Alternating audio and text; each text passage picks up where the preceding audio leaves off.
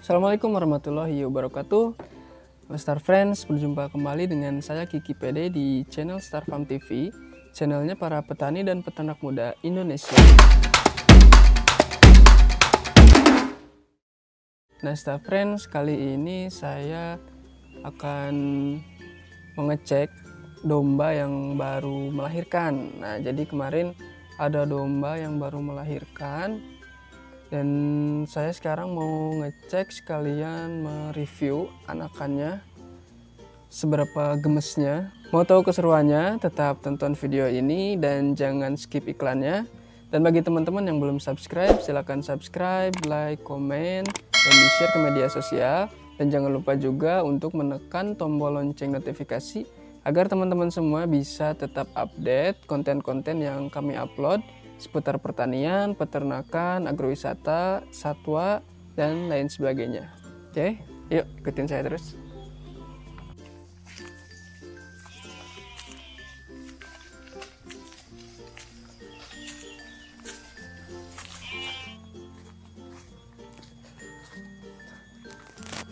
Nah ini Star Friends. Waduh. Ini dia anak domba yang baru melahirkan nah ini indukannya. Eh ini nih. Ini indukannya. Jadi yang baru lahiran kemarin ini nih yang kecil ini. Nah ini yang baru lahiran kemarin. Untuk indukannya yang ini yang putih. Dan ini berjenis kelamin jantan teman-teman. Dan ini masih ngegantung ya tali ari-arinya lucu banget. Dan dia lincah juga pada baru kemarin lahir nih. Masih bersih bulunya juga masih rapi. Dan ini indukannya nah dia masih pengen ke induknya nih silakan. Untuk yang satu lagi itu yang lagi nyusu dia udah sekitar 3 sampai 4 hari teman-teman saya juga mau ngecek.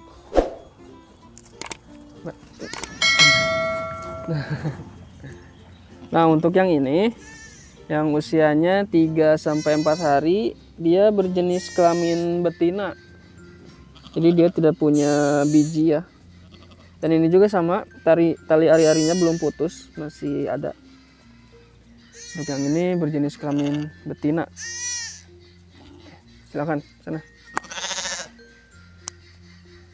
Star Friends untuk di PT Peternak Muda Indonesia atau yang lebih dikenal dengan Star Farm, di sini juga kami berternak domba dan selain peternakan domba, kami juga ada peternakan sapi. Tapi lebih tepatnya itu dari induk perusahaan. Nah, untuk di anak perusahaannya ini ada peternakan domba. Untuk induk perusahaannya sendiri itu namanya Bintang Tani Madani yes. Ya. Nah sekarang saya mau kasih lihat juga domba yang usianya satu bulan setengah nih. Ini, ini nih yang warnanya kayak sapi apa sapi perah. Warnanya hitam putih. Dia itu usianya kurang lebih satu bulan setengah. Dan ukurannya juga udah besar ya udah dua kali lipatnya dari yang ini yang baru lahir. Jadi domba-domba di sini memang dilepas liarkan tapi memakai pagar juga agar dia tidak keluar. Makanya domba-dombanya pada sehat dan lincah juga. Soalnya dia berlarian ke sana kemari teman-teman. Dia. Nangis-nangis pengen ke induknya saya masih gemes pengen megang lagi. Karena lucu banget teman-teman.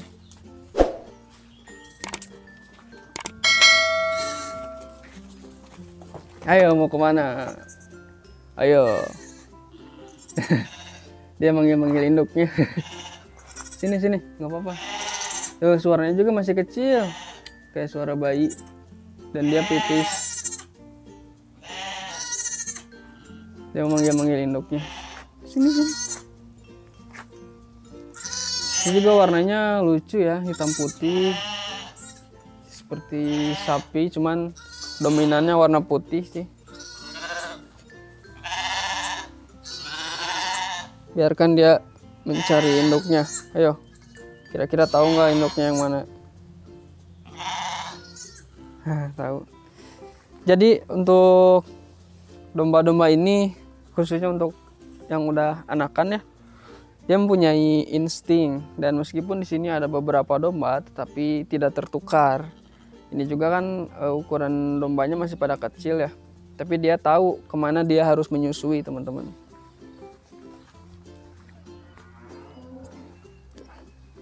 Ini indukannya. Ini baru kemarin lahir nih. Dia seperti memakai lipstick hitam tuh bibirnya warna hitam. Lucu masya Allah. Ini domba jantan. Sehat teman-teman? Dia lincah. Beda dengan kucing atau misalkan anjing. Jadi meskipun anak domba ini disentuh oleh manusia indukannya masih uh, akan menyusui kalau kucing kan biasanya ketika kita pegang langsung anaknya itu dibuang tidak mau disusui lagi teman-teman. Udah sudah cukup? Sana lari. Nah disamperin langsung sama induknya. Dia langsung mengenalinya. Tuh langsung nyesuk. Nah oke. Okay. segitu aja dulu Star Friends. Terima kasih udah mengikuti video ini udah mengikuti perjalanan saya mereview anakan kambing yang baru lahir. Dan akhir kata, Assalamualaikum warahmatullahi wabarakatuh.